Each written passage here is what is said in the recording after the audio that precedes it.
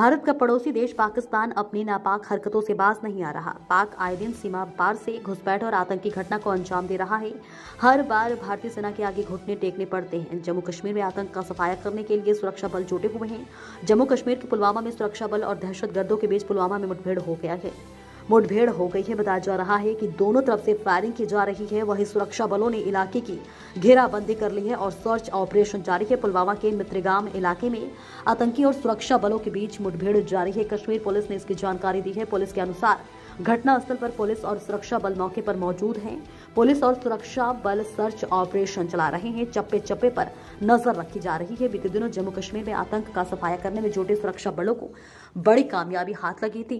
उप ज़िले हंदवाड़ा में सुरक्षा बलों ने आतंकियों को एक ठिकाने को ध्वस्त कर भारी मात्रा में हथियार और गोला बारूद बरामद किए थे। जवानों को इस ठिकाने के बारे में इनपुट मिला था, जिसके बाद इलाके में एक बड़ा सर्च ऑपरेशन शुरू किया गया।